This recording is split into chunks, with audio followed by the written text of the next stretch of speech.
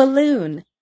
A balloon is a toy made of thin rubber that you blow up with air. This is a big green balloon. Do you see where the balloon is tied at the bottom so that the air will stay in? Blow. Blow is what the wind does to move the air, or what you can do with air from your mouth. Look! This boy is blowing bubbles. His lips are together and his cheeks are puffed up. The bubbles float away. Kite.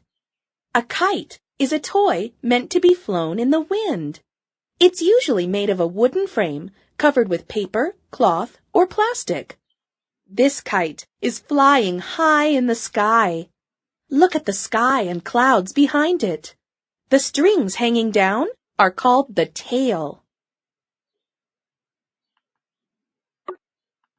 Pinwheel. A pinwheel is a toy on a stick that spins when you blow on it. It looks something like a flower with petals. This boy has a pinwheel. He is blowing on it to make it spin. Maybe the wind would spin the pinwheel even if he didn't blow on it. Sailboat.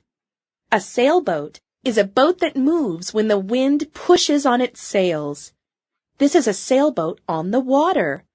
Look at the big white sails that will catch the wind and make the boat move. Umbrella.